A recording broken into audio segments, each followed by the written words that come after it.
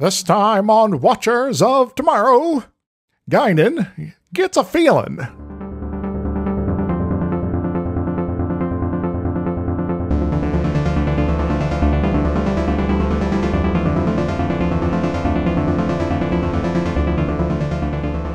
Hello, welcome to Watchers of Tomorrow, the sci fi review and critique show that just feels wrong somehow. Hmm. I am Skep, and I'm joined as always by my friend and co host, Dr. Izixs. Hi. And we are back to Star Trek after our weird and wacky movie, uh, which you should check out. I think that one was fun. Yes. I had a lot of fun recording it, a lot of fun watching the movie again, and uh, yeah, I'm, I'm, I'm still having fun today, in Yeah. fact. So go go listen to the last episode, and um, I don't know if this episode is going to be good yet because we haven't recorded it. Surprise! we haven't recorded it before we recorded it for you to listen to. I know. Believe it or not, we do these things in in in series. Like we we don't go back. We we record the whole episode at once. We're not doing weird editing stuff we record the intro like a week after we record the rest of it or something like you on YouTube. Yeah, it would be kind of, uh, I guess, annoying for us if, if we did do that, but maybe someday we'll like do something like that, just like to experiment, and it'll confuse everyone, including us, and then it'll be terrible. It would. I mean, I'm sure that uh like efficiency wise that would probably be better if we did a bunch of the intros and a bunch of the bodies and a bunch of the endings and then like spliced them together after the fact. I'm sure that that might be more efficient. that it would be confusing as hell for us because we didn't go to film school or learn how to edit or anything. We just we just do uh, this. We don't have like someone keeping, you know, important notes about things we should make sure to mention when we uh, come back to uh, record the last part of the episode uh, after three weeks of not. yeah, we barely have notes at all. Yeah.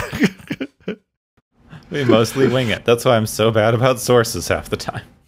you know, uh, and sometimes I cite sources and uh, and then I I I forget because I, I put that on a do- text document that's in, and I have too many things open right now all the time. So Yep. Anyway, all that has nothing to do with um with the episode because it's time travel, time travel episode, but one of the bad kinds of time travel that's not very fun at all. yeah, well, the, the the episode I'd say is pretty solid, but uh, this is the kind of time travel where yeah, it just messes things up for everybody. Yeah, the episode's pretty good, but like there's two kinds of time travel in Star Trek. There's the whippy, we get to go back to the past and fuck around kind of time travel, and there's We've messed up everything. Everyone is dead. We've destroyed the future, and we have to return to the past to maybe not mess it up as badly and create Uber Hitler. And uh, you know, if we fail in the past, it'll not only be Uber Hitler, but like a clone of him too. You know? Yeah, He's and a he's a. Borg. Yeah. So so that'd be extra bad. Yeah. So um, this is the episode called "Yesterday's Enterprise." Today Tomorrow and yesterday. on on Watchers of Tomorrow. Tomorrow and tomorrow and all our yesterdays in a steady pace of enterprise to enterprise. Yes. Maybe we should uh, cut this uh, train off before we uh, get lost in tomorrow and yesterday. Yeah, or we could do like um, half of Hamlet. Hmm. No, there's you know all our yesterdays, I suppose. Anyway, Sorry, this episode um, says it was uh, written by Ira Steven Behr and Hans Beimler and Ronald D. Moore and Richard Manning. Several of them we've talked about before. Um, uh, mostly it was just like all of the Star Trek writers came together to finish an episode for sweeps. kinda, yeah. Uh, this was kind of a like amalgam script. It was two different story ideas by people that got shoved together. Uh, Trent Christopher G- Ganino, uh, Ganio, and Eric A. Stillwell uh, had uh, contributions to the story. Yes. Yeah, we did. We can go over more of the. I don't know if we should go over it before or after. There's a whole lot of like this was written as a different thing to include a different character, and then they included another different character, and then they had a script to bring back another character, and then that character was too expensive, so they brought back a different character instead. Uh, I, maybe uh, keeping it for a surprise will be uh, a better way to go Yeah. forward. Either you know this episode, know exactly who comes back, or you don't. It will be a surprise, like they want it to be in the episode. Yes. Yeah. But uh, basically, um, to sum up, Uh, this is a lot of longtime Star Trek writers who made DS9 Yes. later. So, uh, so if you like DS9, if you're one of those weirdos that thinks DS9 is a good show, some starting fights, mood to start some fights. uh Ira Steven Behr is the guy with the uh, sort of bluish purplish uh, beard and mustache thing going on, goatee. Yeah. So uh so if you if all else fails, you can identify him that way.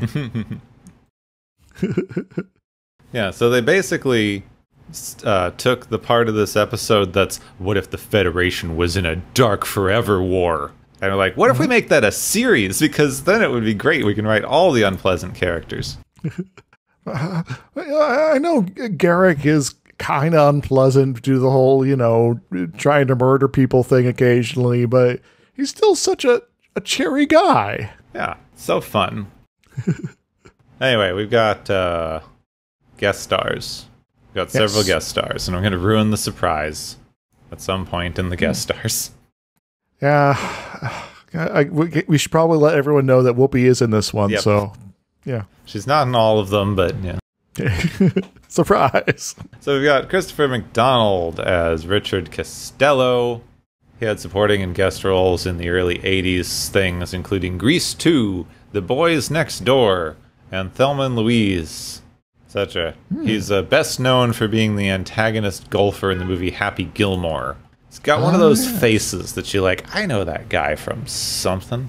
Yeah, it's it's, very uh, def, uh, defining, uh, definitive. Uh, it has features Yeah. that you can define. And though there's a lot of other random people running around, the other no- the main notable guest star is Tricia O'Neil as Captain Rachel Garrett.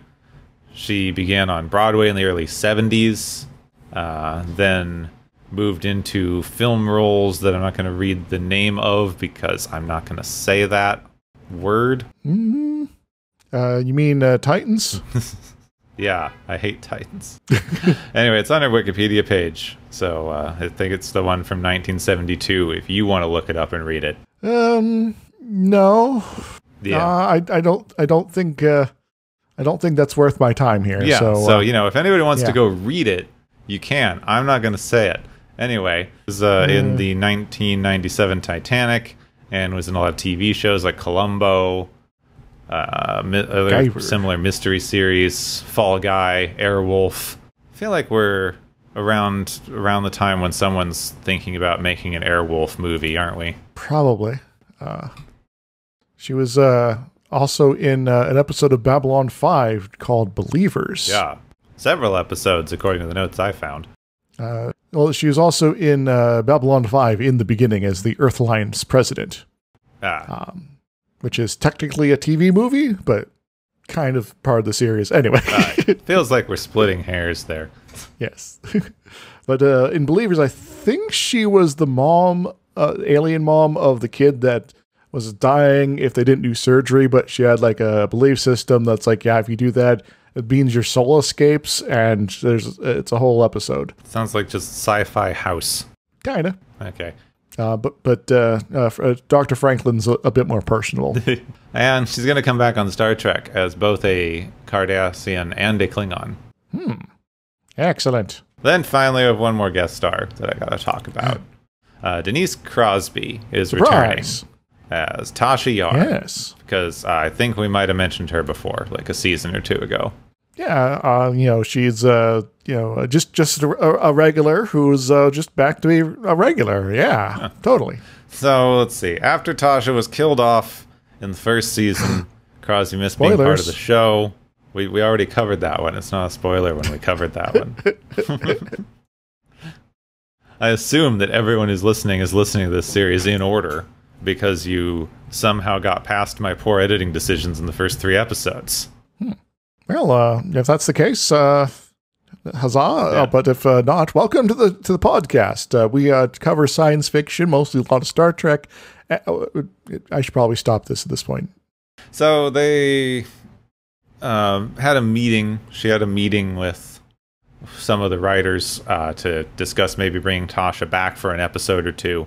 They wrote something that was going to include both Tasha and Spock. Then Gene Roddenberry said Spock is too expensive, and they were like, "What about Spock's dad?" He's like, "Yeah, fine, he's cheap." Um, Then they were going to time travel through Vulcan history, which could have been kind of interesting. Um, but then they got a spec script for a time traveling Enterprise C that included an ensign who went back in time to get killed, and they went, "Hey, what if we send you back in time to get killed instead?" Oh, yeah, it would, it would fit. You know, uh, we're dealing with alternative timeline stuff here, uh, so why not? Yeah. So there we go. That's um, that's why she's showing up again. Yes. Hmm. Though I would like to see Tasha and Sarek time traveling through Vulcan history to save the invention of logic. That sounds kind of interesting. I have to agree, actually. Uh, so I'm going. do feel like I don't know what you do with the rest of the cast, but uh, sounds interesting. Well, well, uh, we could always uh, pull a thing where uh, you know one of the rest of the cast uh, uh, goes along with. Uh, ideally, someone who doesn't get uh, utilized uh, uh, very well in uh, you know uh, sort of these uh, time travel uh, sort of uh, uh, things here. So uh, I'd I'd vote for either um, Diana Crusher or uh, Geordi at this point. Uh, because you know yeah, you know, he really hasn't done it yet, but you know, Data has his own uh, a bit of a uh, adventure later. well, you have to uh, do Diana because then they can have a like thing where she's all guilt-ridden about how Tasha sacrificed herself to save her from the goo monster. Oh, yeah, there we go. So yeah. Then you can be as angsty as they like to be for the people who went on to write DS9, the angstiest of the Star Treks. But yeah, uh, uh, so uh, it- but now at this point, we could probably like make it a whole series. Yeah, I mean, it So, honestly uh, sounds like um, Crisis Point Two from Lower Decks. like we've got to save the ambassador's whatever's ancestor, the giant squid at the zoo. excellent. Anyway, there's a story here that's not Crisis Point Two Lower Decks, which is like those are weirdly, weirdly good episodes in season one and two. If you haven't seen Agreed. Lower Decks, So uh, go watch Lower Decks uh, after you listen to this podcast. yeah, you probably should. We could talk about Lower Decks. Someone, someone, tell us to start a Patreon so we can talk about Lower Decks. Yes, uh, you know, leave it in the comments or uh, write a review. It's like this is the best podcast ever, uh, except they don't talk about Lower Decks yet. And I oh, want, and we can have we could get enough money to commission somebody to draw us as Lower Decks characters. ah, that'd be cool. Yeah. Hmm. Anyway, um, back back in non-animated Star Trek. Not yet, at least. Ho Uh, did you see there was this thing going around for a while where someone did um, original animated series versions of like uh, Star Trek: The Next Generation and Voyager? Yes, They were so yes, good. uh, yeah, you know, just uh, take the audio and uh, you know uh, do the animation for it, and uh, yeah. yeah, they even like purposely put in like the artificial dust and smudging that would have been on a on a poorly used animation plate. It was great. yes. I I think I shared at least one of those in the uh, the Discord. Uh, Yeah. FYI, we have a Yeah, Discord, we have a Discord interested. where you can go look at us uh, not interact with stuff but share things occasionally. yeah. Okay. Anyway, there's a there's Worf. Worf is doing a thing in Ten Forward with Guinan. Um, He's learning about uh, the most important drink for uh, for the rest of his character. Yeah. Um, out. firstly, she's trying to convince him to have rough, kinky sex with some other crewmates. and then she introduces him to prune juice, which just becomes like his thing forever. Mm-hmm. Um, so it's interesting, given which of the two options they had to make his thing forever, they took prune juice instead of rough, kinky Klingon sex. Well, he does get to have some of that later, but he does. you know, But like the whole line is like, I would require a Klingon woman. It's like some of the women on board might surprise you. It's like, hmm. you know, I, I you know I hear some scary things about what Crusher's able to do. You've seen those. You've seen the weird stretches they were doing. Yep. So anyway, there's a weird hole in space uh, by, suddenly outside, and everybody gets called to the bridge. Uh, the thing outside ain't there. Uh, you know, they can't detect it in any way. They can just see that there's a big space hole. yes. Hmm, it's like a pothole in space. You know, if everyone's trying to ignore it, but you can obviously see it's there. There's also radiation that they've never detected before. Is it plot radiation? Yeah, it's plot radiation. Yeah. so uh, they think they detect a ship for like a second, uh, but then it's gone and they shrug it off and move on. and Guinan calls the bridge to ask if everyone's okay, and Geordi tells her about Tasha. Yeah. And it was a really short Uh, and- episode. Yeah, somehow uh, Worf ended up teleporting to the bridge too. I'm not sure if that's just a continuity error or whatever, but Yeah. yeah. Well, no, they still like he got called up to the bridge and then left and went to the Oh. bridge, like the time hole. hmm. So, so, so I guess we probably just cut ahead a little bit. That's fine, I yeah, guess. yeah. Mhm. All right. So anybody who didn't remember that episode will get this was a joke in like 20 minutes or so. Yes. Though it would be funny if we just go into the discussion what appears to be a five minute episode. Yeah. So the thing about kinky Klingon sex and prune juice. It's weird they had an episode that focused so much on that exclusively. And then, of course, Just you can read the out. space hole as a metaphor for the Clinky's Klingon sex and prune juice. Yeah, because you know, uh, you know, the kinky Klingon sex involves openings, and uh, you know, prune juice is helping a different opening uh, re- maintain regularity. Yeah. Yes, Or possibly the same opening, depending on. yes. You know, uh, well, well, we don't know the full gamut of uh, Klingon uh, anatomy. Uh, you know, so you Yeah, know, but if there's one thing we know about humans, it's they're going to use any opening going. yes, and maybe Klingons need uh, all the openings uh, available uh, for uh, general sex anyway. Yeah, so. it's because of all those redundant organs. so that's the episode, Yeah, everybody. now I don't think we can. I don't think. Um, they, I don't know. I, yeah, we're we're like ten minutes in. We're at least ten minutes in. YouTube's not going to completely shut us down for this now. oh God. So uh, what actually happened? I, I, I don't know. I should go back to just being. I should go back to just being shut down and not not talking as much when we're doing these. So, what- so what really happens in the actual continuity of the episode is that a ship emerges from the anomaly, and we see everything suddenly change. There's a different bridge layout. There's different uniforms. Everything got grimdark. Uh, and instead of Worf, Lieutenant Yar is at tactical.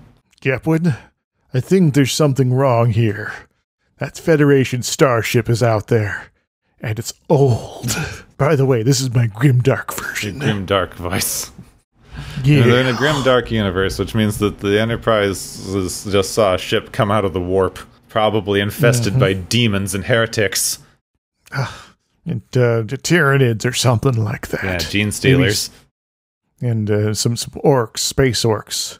All together, they're they're probably going to like kill each other, but you know, Yeah, they're they're currently having a big battle on that ship, and uh, we should just wait them out and then blow the thing up just to be sure. Though in 10 forward, Guinan notices something is wrong, but she can't really put her finger on what because she like is a being that has a different interaction with time than everybody else. Hmm, different perceptions. Hmm, I don't trust it. So Yar identifies the ship as Federation, uh, NCC 1701C, the USS Enterprise. Recorded as destroyed about 20 years ago. Hmm, this is very convenient to just pop up now. Yeah, it's very suspicious. Suspicious. So they need to destroy it, and then like that'll win them the war, and they have to live with the consequences of that. And it's very dark and dour, and we'll win an Emmy or something. Yeah. I'm, I I need to stop. I'm going to spend the entire episode making fun of DS9 if I don't stop. You you could just tell me to stop doing this voice. That might help. Yeah, you probably should. Okay, I'll, I'll stop doing that. the grim darkness of Star Trek. There is only war.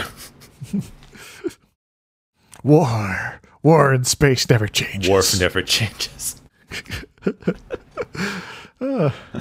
Well, that's the nice thing about Worf's name, though. Uh, it, it can fit in so many different, uh, you know, in place of other words. Yeah. So, you know, war to Worf. Uh, so, uh, you know, you know, warp to Worf. Um, hmm, wobble to Worf. So, I'm getting all uh, Worfery. The wharf wobbles but doesn't fall down. Yeah. So uh, apparently, uh, uh, Worf isn't on the Enterprise in this, uh, you know, alternative timeline. Who knows? He might be dead, dead out Yeah, there somewhere. Well, probably. We don't know yet, but we don't know what's going on yet either. So, anyway, the ship's damaged. There's some life signs. Uh, Riker prepares to send over medical teams. Picard's like, I timeline shit though. Yeah. This, you know, if this is time travel nonsense, you know, that, this could be a problem. Uh, we haven't invented a temporal prime directive yet, but, um, you know, Huh. just in case. Then Captain Garrett sends out a distress call, And Picard is, well, fuck. Fine. I guess we'll be like not terrible to them. Go help, but don't tell them what's going on. So Riker and Yar and a medical team head over to the Enterprise's Seas Bridge, where they find the captain in her chair, as they should be. Find the helmsman, Lieutenant Castillo, under some rubble. And the away team thinks the ship might be salvageable, and the Federation could use every ship they can get because of their war with the Klingons. Dun dun dun dun dun dun dun dun dun dun dun dun. But sensors have detected Klingon ships on the way, so if they can't repair her soon, they'll have to evacuate it and scuttle her. I do like that word though, scuttle. Yeah. I wonder where the origin of that is from, because it's such a weird word for destroying a ship. Maybe um I don't know the you know sea crabs or Yeah, something like send that. it down to the crabs. It'll scuttle all over. it. scuttle, scuttle. I doubt it. Then Guinan shows up on the bridge because she thinks everything is wrong and she can't really say why, but they're not supposed to be in a war. Your uniform is stupid. It's supposed to be more fashion.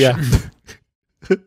yeah. Also, there's like steps on the bridge, and like there's uh, a, a weird set dressing everywhere, and Yeah. it's and all the lights are off. The bridge is and, uh, way know less that kind- wheelchair accessible all of a sudden. yeah. Hmm. And also, there's supposed to be children and families and laughter. The, the joy it's left our our Starship Enterprise here, Captain. His family is on a warship. It's like you're not at war. Don't you understand yet? This is not not hard. Uh, probably because that ship showed up, and uh, you need to send it back. Indeed. Hmm. Well, yeah, I, I guess we got to trust your feeling. All right, let's just uh, shove them back in the hole. Yeah, got, back uh, to the you back know, in the hole with you. Be gone. so Picard heads to sickbay to see if his uh, counterpart, Captain Garrett, knows what's going on. She catches on way too quick. She's like, "Hey, you're from the future, aren't you? Tell me the name of this ship. Why don't you?" Fine. So right before they came to the future, they were defending a Klingon outpost from three Romulan warbirds. Uh, they were going to be destroyed, and if they go back, they will die instantly. Um, but it's too bad that they didn't save the outpost because it might have prevented this entire war. well, uh, uh, so bad on you for uh, traveling through time, uh, yeah, Captain. how could you have done that? Are we catching on yet? hmm So uh, Yar and Castillo are hanging out a lot. They're repairing the Enterprise C. Um, he's a bit freaked out about how uh, time travel shit saved him from certain death. Mhm. He's like, "Hey, so Wouldn't everyone you? I know is probably dead, right?" And she's like, "No, that how's how would remember our lasers are better now." Well, yeah, and uh, oh, so you know, the, it's only been you know a couple decades. You know, uh, you know they're probably fine, right? You know, uh, oh yeah, they they they were set up on this uh, you know uh, uh, planet uh, on the uh, border with the Klingons uh, in the Archanis sector. Uh, you know that one bit of, that ages ago that Klingons were all uh, uh, up in arms about and might be again someday. Yeah, so uh, you know, hopefully they're a okay on the colony that would be easily taken by the Klingons during a war. Wait a moment. So he's mostly freaked about time travel. She's like, "Hey, our tactical systems have improved, and this is apparently flirting." Well, I guess uh, for certain sorts of nerds, which I guess both of them are, this this works actually.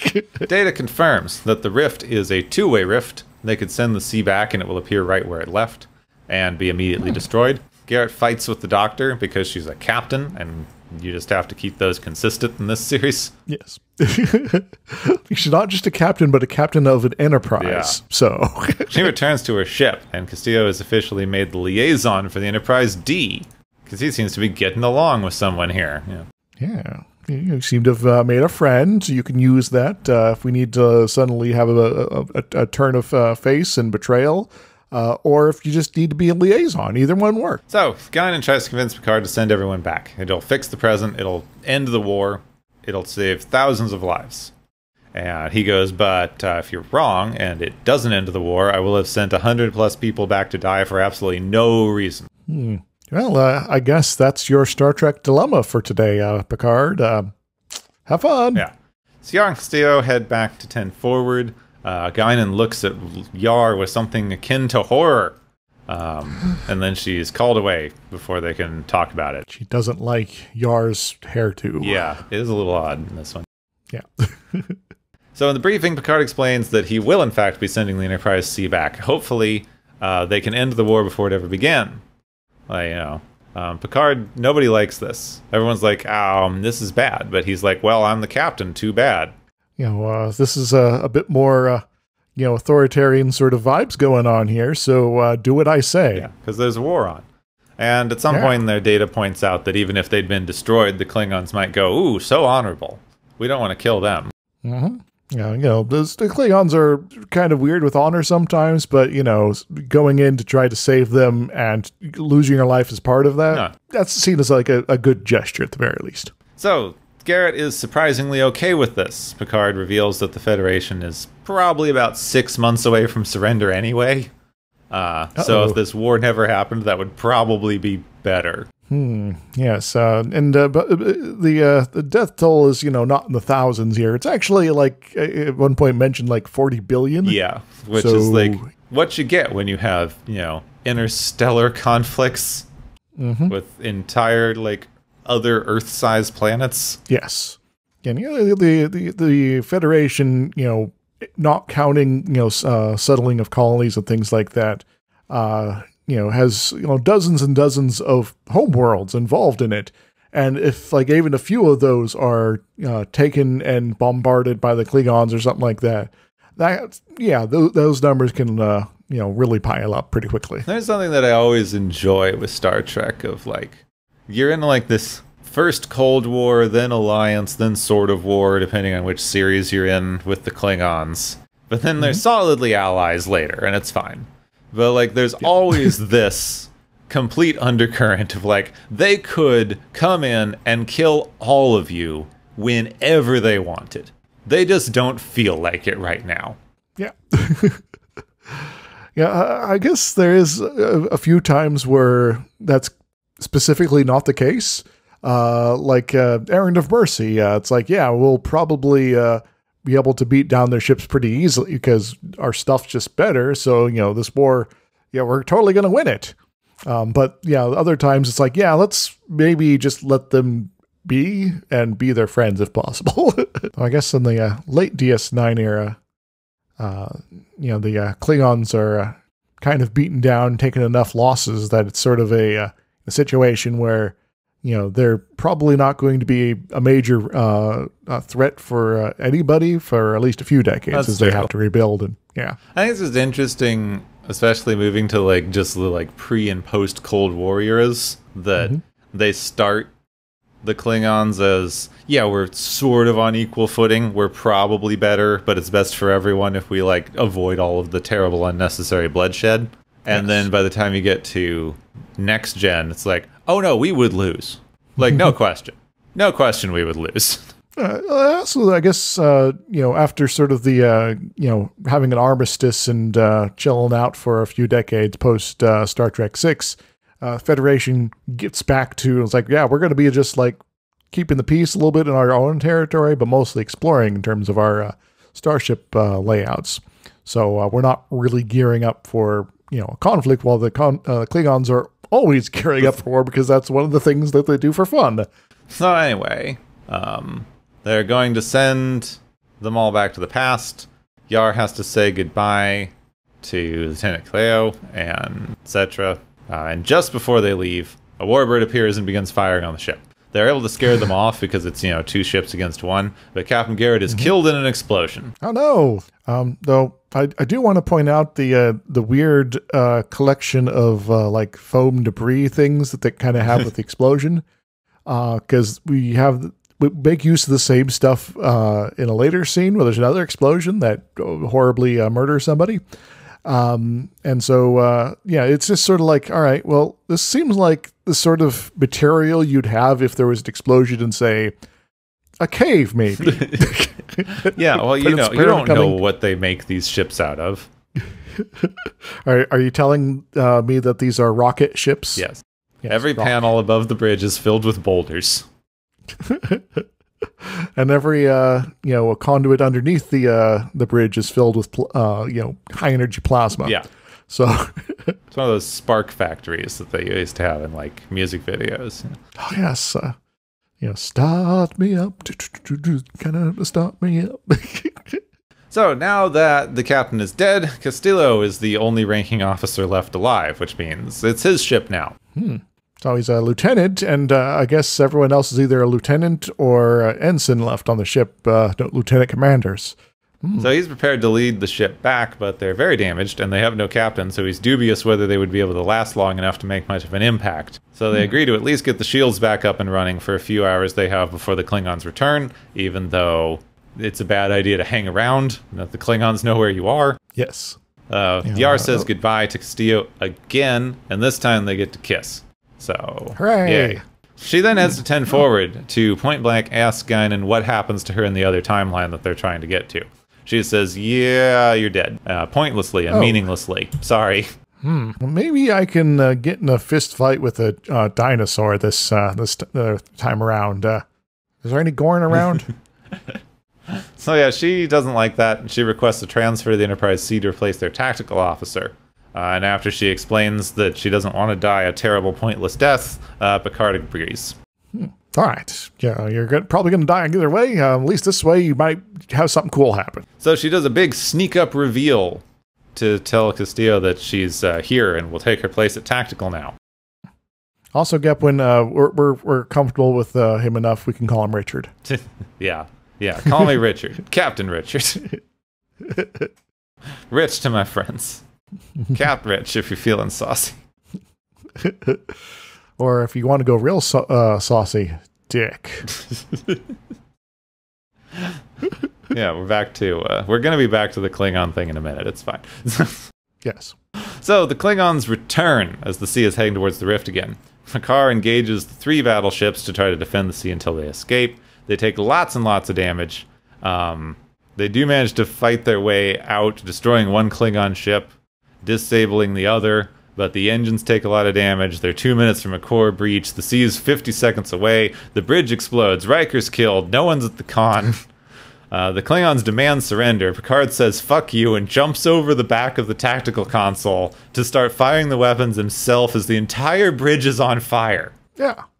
Well, Picard's been in this situation before. Yeah. Uh, even in alternative timeline, the Stargazer probably had a bad time that one time. So Mm-hmm. I just like, this is like as much action as they let Picard have most of the time. And he's just Yes. loving it. He's just like fucking jumping over shit. It's like, like hell, you'll never take me alive. Aha!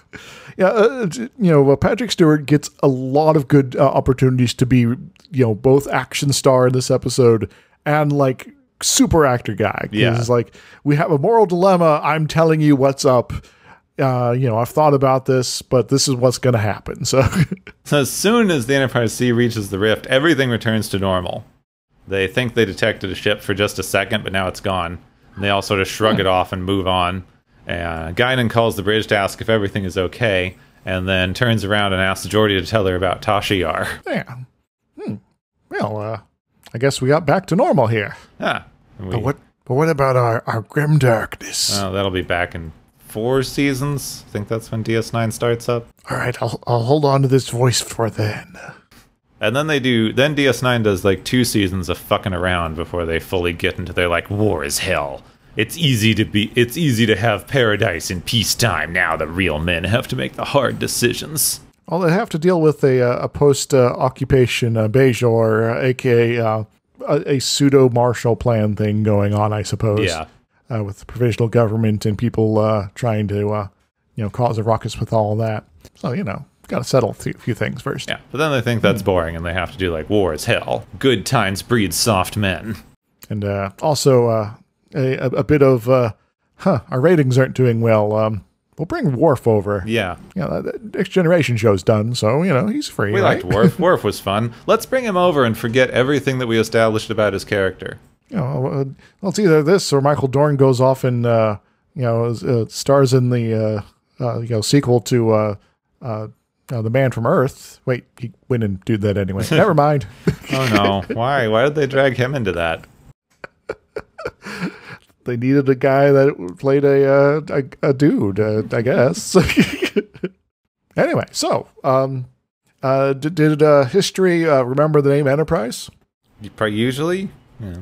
But yeah, that particular line though from the episode uh, is definitely one of my favorites, and uh, you know you could sort of say it as the thesis for the series. I think it's kind of interesting that like history remembers the name Enterprise now because of this show. It's been a battleship and various things for for years, and and no one would probably think that much of it, except for like it's connected to this now. Yep. and uh, Star Trek even inspired a space shuttle name. So I think this is one of the. This one's going to be. This is a little interesting. It's one of the more straightforward message episodes. It's like you're. You got a pretty good pass with Guinan being able to do some sort of weird extrasensory time perception stuff. Being mm-hmm. able to just go like, "Hey, this is what happened. I'm an alien with weird knowledge of alternate timelines, so I can tell you what's going on." indeed, there would probably be a bit more of an interesting discussion if it was we think that this ship might have been able to change things and we're just surmising this so we need to make a really tough decision about whether or not to sacrifice a hundred people Yeah, I, I guess uh, you know one uh, way to maybe do that would uh, require uh, changing up what's going on the other side of the time uh, uh, rift there. That maybe they haven't quite arrived at the battle where they fell into this time thing. Uh, and uh, so they're like, yeah, we were trying to uh, help out some of uh, these Klingons here because we're in the middle of negotiations for a formal alliance. Yeah. they asked for help, and you know we've already been doing you know uh, stuff like this uh, previously. Um, but it's very so it's very important we continue to be helpful in this uh, you know sort of stuff here. You know, we don't know what's going on, et cetera, et cetera. And then you know the uh, modern uh, you know you know present uh, enterprise is like, yeah, we uh, remember you know, we have records about what happened to that outpost. It was completely destroyed, and uh, you know we're not entirely sure why, or the you know Romulans claimed it, or something like that. Um, to say that you know there was you know very clearly a a bad end for whatever happened here, uh, and in terms of uh, you know the, uh, the the enterprise, you know then you have a less certain death in that case, uh, and thus the dilemma is this might be your end, but it might not. But it will at the very least give us a fighting chance in the present to not have this uh, terrible timeline that's happened here.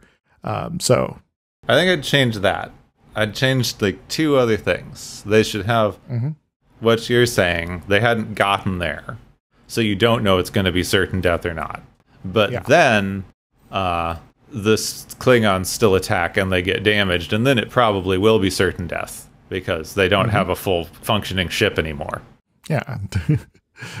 uh, and so, uh, yeah, heck, maybe uh, in the uh, the returned timeline, uh, you know, the there was maybe you know a snafu with the uh, the attack on the that particular colony or outpost where uh, the Klingons actually felt bad because it looks like their the the, uh, the ship coming to help had actually been hit by Klingons at some point. well they were even like oh this ship came in even damaged they tried to defend us how honorable no yes.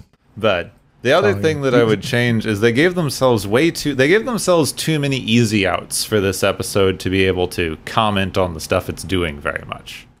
They have Guinan's magic, we know what's happening stuff. But they also get to say, well, it doesn't really matter whether we send you back to die because we're all going to die anyway. Yeah. We're losing this war terribly, and we're about six months from total Klingon subjugation. Though uh, most of the crew doesn't know that, you know, because it seems like captain's uh, information only. Yeah. there. But so it's too easy. If they weren't losing the war, if they were either doing fine or even winning but slowly, or even like we're six months away from winning, but maybe the price we paid is too high and it would be better to have stopped this before it began. You could still have the uh, 40 billion dead, uh, you know, line in there. Uh, and it's like, yeah, it's this is not a war that was worth that Yeah. sort of a, uh, uh, price Yeah, there. you could even have that. It's like we've almost won this war. It's like for what? What did all those people die for? If we could have prevented it before it started with a hundred people, mm-hmm. and then you get to have a fun discussion about whether or not it's okay for a hundred people to sacrifice themselves to save a billion. or 40 or two, somewhere between. Yeah, I mean, by the end, it was seemed like they only had two people on the ships. Yeah, well, yeah, that's, the bridge crew. That's the only people that matter on the ship anyway, right? Uh, if you have an engineer who is of any uh, note, they'll uh, will call up because this is a pre TNG episode uh, starship here. They even really do have a good thematic thing going on. You know, the kind of stuff that they could have done in DS9, uh, where the thing that prevents the war itself, this terrible thing that's destroying the Federation, is upholding your core principles and values, which is even though we are in like an uneasy peace, possibly almost wartime situation with the Klingons in the Enterprise C time, they still are responding to a distress call because they will always sacrifice themselves for even the chance of helping other people. Yes. And that is Yeah, the thing that makes the war not happen is the Federation actually upholding the values that it says it's going to uphold, even though it's the more difficult and dangerous thing to do.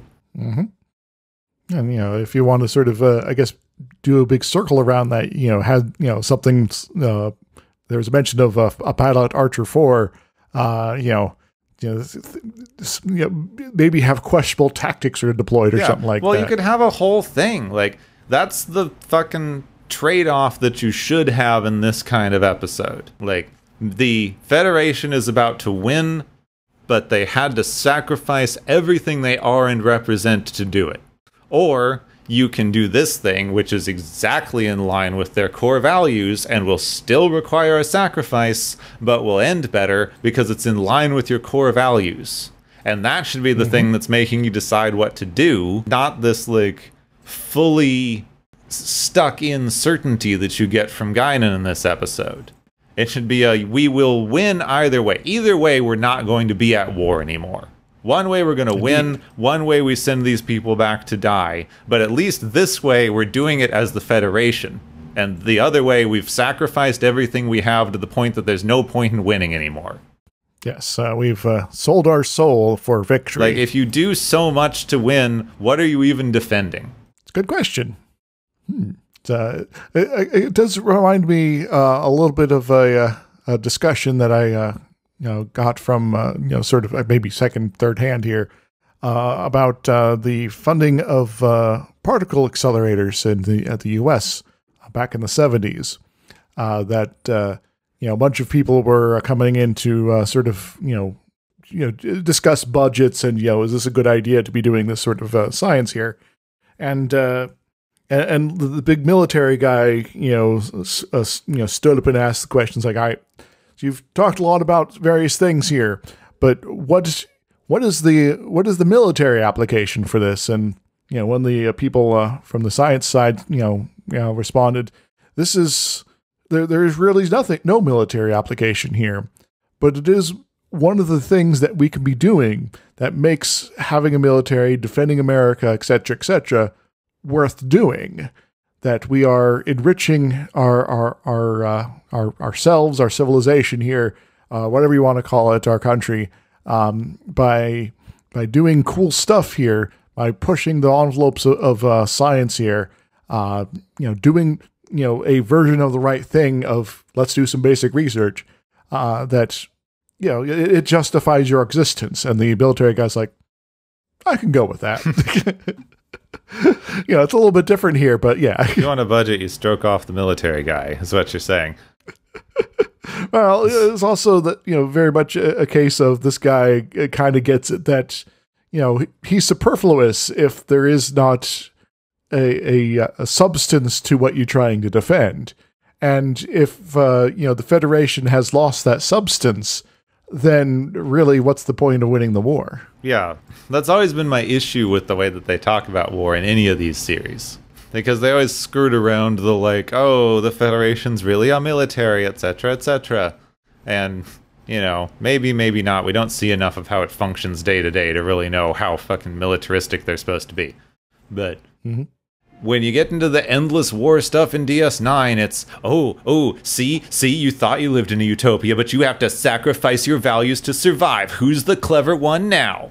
Where you could have a thing of how much of your values can you sacrifice before you're just not fighting for anything worthwhile anymore? Why do you, the, you know, de facto point of view character, because you're the head of the show, get to make a decision to sacrifice the values of a thousand people because you think it's the right thing to do that they would have wanted? so uh when we get to uh in the pale moonlight i, I suspect it might be an extra long Yeah, episode probably. folks Because I think that's the thing that you could have. All of the people on the Enterprise C in this episode are ready to go back and sacrifice themselves because that's the thing they signed up to do. It Yep. makes sense in the narrative we're presented. It makes sense with everything we're supposed to believe about the values of the Federation. Even if you're going into an unwinnable scenario, you will go back and you will do everything you can to try to save as many people as humanly possible because it's the thing you're there for. Indeed. So I, I, I do uh, like the uh, highlighting of uh, that sort of attitude. Actually, uh, that you know, it's like even before there's a decision made about going back or not, that uh, you know that it's they're actually leaning towards uh, sticking around and helping the fight in the present. Uh, that you know, it's like some of the crew are actually would prefer to go back in time there in order to uh, finish up the, that job here. Yeah. You know, sure, we might be needed here, but you know, it, it we were also needed We there. don't want to leave what we're doing halfway. This is the thing we we do. We explore space. We try to save people. We know it's dangerous. I think that's Mm-hmm. infinitely more interesting than we got Garak to tie them all up on the bridge and autopilot the thing back into the rift. Yep. But it's fun uh, because it's Richard? morally questionable. Alternative universe, uh, Richard. now uh, there is uh, maybe something else we you know, to uh, address a little bit here about uh, the consequences of this episode. So, in the uh, quote present here, things seem about the same. You know, there might be you know someone is on a different side of a room now, sort of stuff going on here. But there is, you know, generally we're back to where the timeline was before. However, Tasha going back in time does have ripples that uh, are going to uh, affect things that they haven't thought of yet quite in the uh, writing room uh, that are going to show up later. Yeah. I think that depends on your theory of time travel.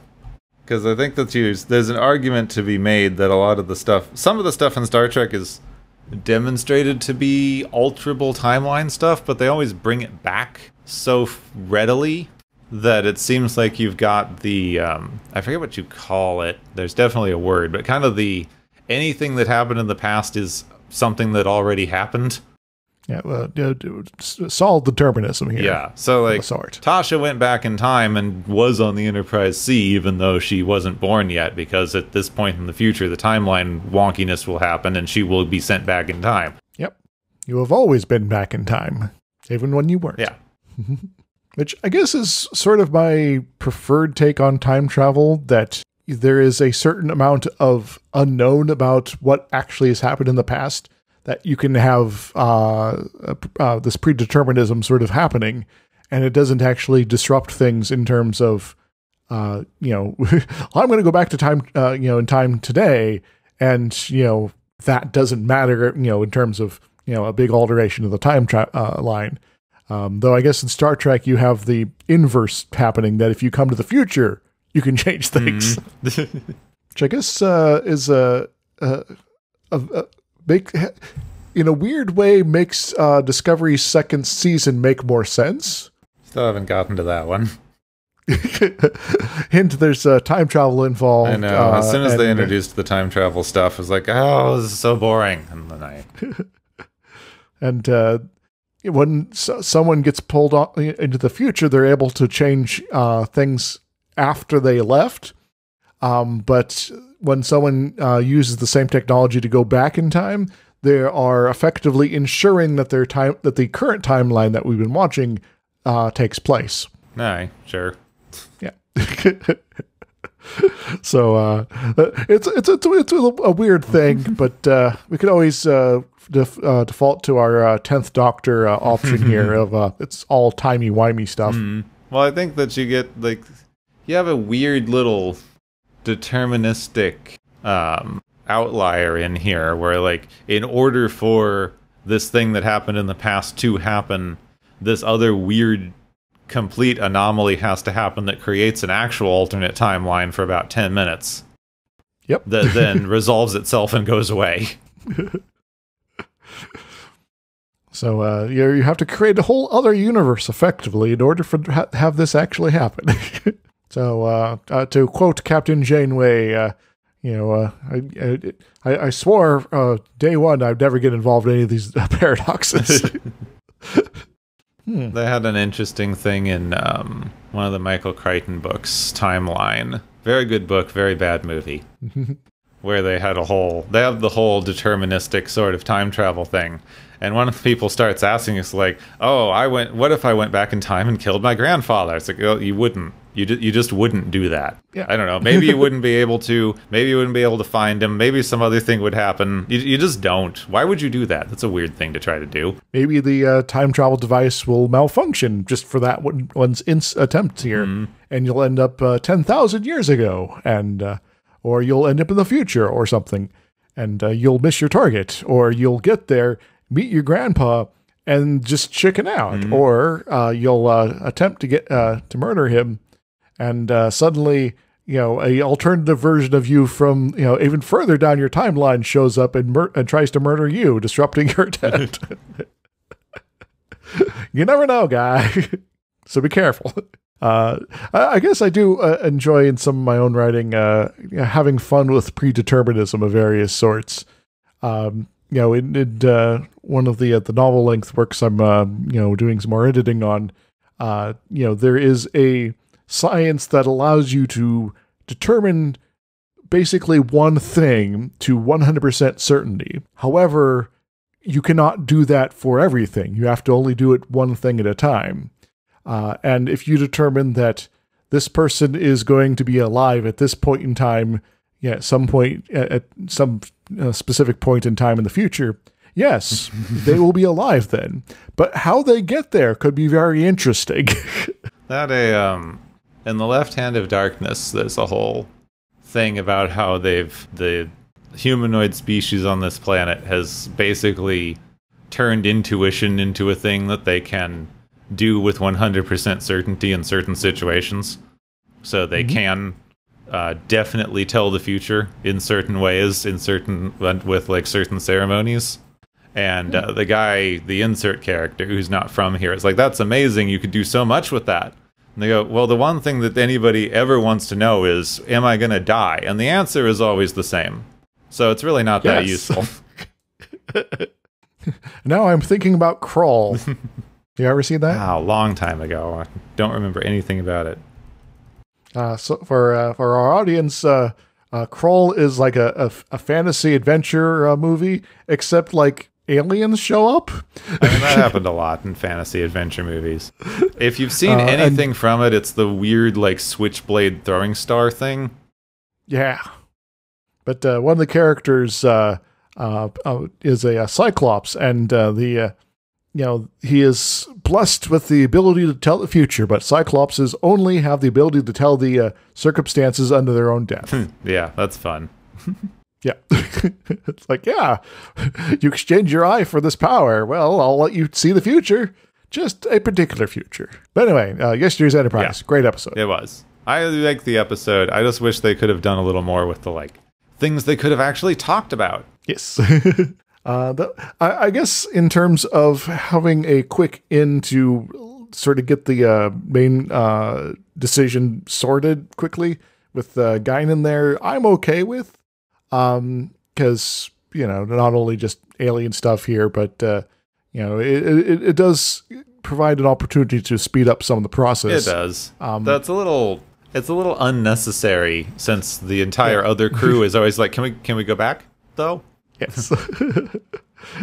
uh, so uh, it is, you know, potentially unnecessary, uh, you know, but uh, in terms of the, I guess, the flow of the episode, it works for me still. So, yeah. Um, plus, it's always fun to have Guinan around. Yeah, that's true. She's always fun to have. Mm-hmm. You need to shoehorn her into things somehow. Uh, could, could they could have always uh, done a thing where uh, you know uh, Guinan looks at the time hole and is like no, and uh, and then things change, and instead of being the uh, uh, the the person uh, tending the ten forward, uh, Sun tactical and like uh, Guide in the battle commando. and you know you- and just like change up the roles for everybody or something like that. and you know, and uh, Wesley's still on the bridge of this episode, but instead of doing the gray sweater thing, he's uh, you know in the uh, uh, you know uh, red uh, command stuff there. You know, uh, maybe he's down at the bar tending giving advice to people. Well, they don't they don't go into it fully. It makes sense, and is part of the whole decline of the Federation thing that they basically have recruited a teenager to be one of their like main bridge officers because they're pressed for people. Yep. And uh, I I also uh, some of the uh, subtle things that uh, you know uh, are sort of being showcased that aren't being really sort of drawn attention to uh, is like uh, how Picard addresses Riker. And it's like you know he's not number one in this episode when they're in the alternative uh, timeline. He is commander. Uh, there is, of course, the uh, the obvious doohickey belt thing they got going on, which is a little gaudy, but uh, it does mean that everyone can carry their weapons with them, um, even though before they could. Anyway, it's like a clip on. uh, yeah, the the, the uh, is I, I mentioned things about the decor the, on the bridge. You know, having steps and uh, you know some of the sort of soft lines are sort of uh, covered up by various you know panels and you know weird strip things uh, to basically give it a harder feel, um, even though the underlying structure of the bridge is the same. Um, and yeah, so there's a lot of sort of subtle things like that uh, that are uh, done here to help showcase the otherness of this particular uh, timeline. Yeah, they do a pretty good job, and they're able. It's inter- It's impressive how much they're able to change just by giving a few surface level details. So if you ever want to be in an alternative timeline, that's what you got to do. Yeah, just get a panel and put it up behind you. You know, some paneling changes the whole vibe of the room. Is is this the timeline where where you've gone evil, or the timeline where uh, you you kept up that conversation about uh, you know kinky sex uh, Klingons and stuff? Yeah. Uh, Is this the evil timeline, or did everyone just get into uh, postmodern abstractionist minimalism? uh, oh yeah, there was also mention of Doctor Selar today. Oh yeah, Yeah, she, she's apparently still on the ship. Hooray! good. we have other doctors. All right. Also, uh, uh, this is one of the episodes that was uh, featured in uh, a special time travel uh, uh, week uh, on the uh, local uh, Fox affiliate where I uh, grew up at one point. Nice. I also had like a full before they had the full DVD seasons. I had this as one of the like Star Trek time travel episodes box sets of things. Nice. They had time tra- Star Trek time travel episodes, Star Trek Q episodes, uh, Star Trek Tribble episodes that came with a Tribble. that was only the two, but that's, uh, still. So that's uh, two thirds of Star Trek done. Uh, yeah. And then the rest is uh, aliens being jerkasses. yeah, they didn't have an aliens being jerks box set. But unfortunate episodes we'd rather you forget. The box set. Everything else. Hmm. Oh, I, I also want to point out the design of the Enterprise C. I, I rather appreciate. it. It's a good mix of like a TOS Enterprise and like uh, TNG Enterprise, kind of weird amalgamation vibe yeah. there. I was reading the thing that they they were able to do it relatively quickly because they'd already had to design it for the idea of let's have the st- enterprises through the ages in the conference room. So they were just like, well, I guess just make that. Yep. yeah, just add a few windows and you're good. Anyway, that's all I got. So Okay. Then we've we've been messing around too much. I'm tired and I'm gonna keep saying weird shit until I fall asleep if uh, we don't do the galaxy's favorite game show.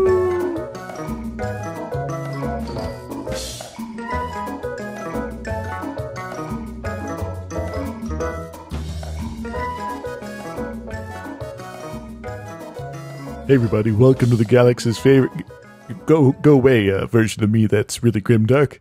Anyway, the uh, Galaxy's favorite game show. Our various contestants have been uh, uh, getting some. Uh, no, no, stop!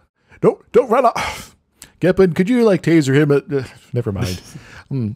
Anyway, uh, our various contestants have been uh, collecting uh, some points here, and uh, though uh, the the prizes maybe have uh, some temporal instability, I think they'll be uh, good enough for today. Uh, anyway, uh, let's get started. The first prize is the Time Warp Prize, which goes to the Enterprise C and all aboard. Uh, that includes you, uh, Castillo, and uh, yeah, the captain and all that, and everyone you don't see, um, and everyone all aboard here. Uh, you know, manage to get themselves pulled to the future, and then they go back. And I guess the explanation for the why there's a time hole here is that the Romulans' weapons are weird. I don't know. What do they win, Gepwood? They win the infinite time loop because they could just go back, uh, go through the time hole again, go back for 10 seconds, keep getting repaired. It's basically save scumming, uh, but for ships. Yeah. Go pop out, shoot them, take some damage, pop back in, repair your ship, pop back out, shoot them. Eventually, we'll end up in a timeline where the uh, this one ship uh, somehow conquered the entire Romulan Empire and uh, destroyed the, the the Borg before our first contact with Yeah, them. I've seen this is how this is how some people are playing Baldur's Gate 3 honor mode. Just like I can run in and keep one guy off to the back, and then we'll die, and then he'll heal us all, and then you know we'll fight them a little more, and then we'll die, and then he'll resurrect us at camp, and then or uh, playing uh, RimWorld where you uh, hang out in a little shack and just uh, shoot everyone that comes uh, towards you. Uh, and then uh, you, you go inside and close the door, and they're like, "Oh, there's something else to attack that's not behind a door, so I'm gonna go attack that." and you do it again forever. Um, anyway, our uh, second prize is the assignment death prize, which goes to Tasha Yar for volunteering for a likely suicide motion in the hopes that uh, mission that uh, in the hopes that she'll uh, have a worthy death, hopefully, and hopefully she won't be captured by the Romulans. Uh, what does she win, Gip? she wins an update to her epitaph when they find out what actually is going on, so that she can have the whole worthy death, all be remembered thing. Also, I'm glad they gave it another reason because they were so close to I want to go back in time and die because I like the boy and like keep it in your pants. Yes. You know, uh, getting yourself killed because you're falling in love like that uh, with like just a few hours of time to hang out.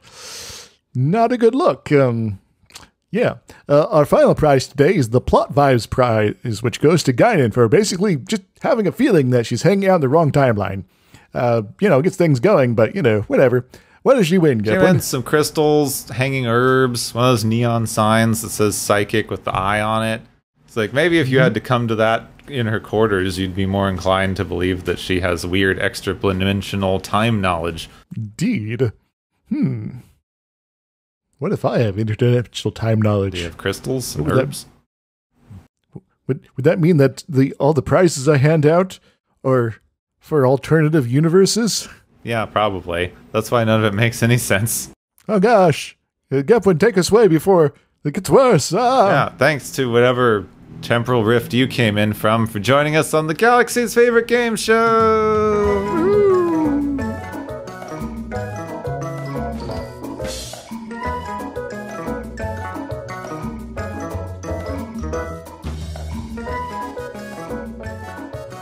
Apparently, I, I made it back to our original timeline. Hopefully, Yeah, seems like. Yeah. I just think it's funny since we were making fun of this for being grimdark. I went over to Wikipedia to check the next episode, and I, I forgot they now have their color thing. It's just this automatic light dark. Should I set it to dark for dark themes? the darkest time for an episode. Go. but uh, the the next episode uh, has a, a- a dark conclusion, but uh, is kind of fun at times Yeah. and uh, features uh, at least one uh, detached limb. But you know, So the next one's going to be interesting. I'm not going to spoil it, but it's got some themes that could be relevant to some stuff we're talking about today that I don't see very many people talk about with this episode. hmm, And uh, does it ha- uh, uh, Troi's uh, hairdo? no, I don't know enough about hair. Should ask somebody Yeah. who knows more about hairstyling. Uh, a, a uh, awkwardly uh, uh, appearing admiral who uh, lectures people. I mean, we get those in most episodes. Okay, So- yeah, that's true. yeah. Um. So, uh, we are maybe going to be uh, doing some cybernetics. Yeah. We've got Yes. The Offspring, which is uh, basically the episode. Whose offspring, you may ask? That's not the one Yeah, you'd so- expect. Yes. Uh, clearly, um, The answer will shock you. Uh, yeah, you know, uh, Riker's not the, uh, the not the father this time either, um, and and also not Kirk. Uh, you know, you have to check sometimes. yeah, so that one's interesting. Sometimes it is Kirk, Kirk. we thought you were It might be Kirk. We don't know. Um, and it's not Deanna because she already had her awkward episode where she has a kid. Um, Crusher already has at least one kid. Um, clearly, the answer is going to be Worf. Yeah, he's Worf is is definitely uh, going to be showing up here with a kid and it's going to be a whole thing, right? Yeah, I mean that is something we know happens. Yeah. So uh, this is clearly that episode. Clearly that episode. or that so- like illegitimate kid that they keep like sort of trying to tease for Picard at various points, but never do anything with. yeah. hmm, Thankfully, Picard. because that would be weird and awkward and bad. So uh yeah, let's uh let's uh roll forward and uh, we'll uh, find out if I'm correct with my estimation. yes, next time I- you I- find out whose offspring. Who's the daddy or mommy? Let's roll. Next time on Watchers of Tomorrow, Data collects a severed foot.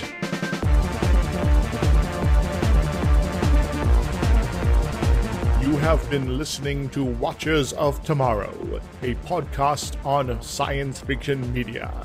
Find and follow Watchers of Tomorrow on Podbean, YouTube, Spotify, iTunes, Google Play, Stitcher, Pocket Cast, Spreaker, Digital Podcast, and perhaps many more to come.